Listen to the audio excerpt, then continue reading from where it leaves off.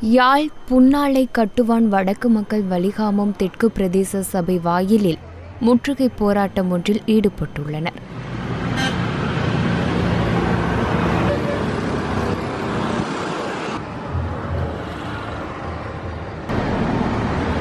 தாம் இதுவரை ஈம கிரியைகளை முன்னெடுத்த பிரதேசம் தம்மிடமிருந்து பறிக்கப்பட்டதற்கு எதிராகவே இந்த ஆர்ப்பாட்டம் நடத்தப்பட்டுள்ளது.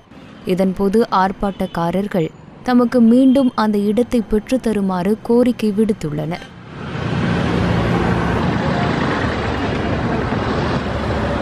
எங்களுக்கு எரியூட்டுறாக்கு இந்த சுடலையில எரிக்கிறாக்கு எங்களுக்கு ஆவணம் செய்கிறவனும் இந்த பிரதேச செயலாளர். எத்தனை கடிதம் கொடுத்துக்கிறோம் ஒரு ரிப்ளை கடையும் தெரியல. எங்களுக்கு தெரியல இது வரையும்.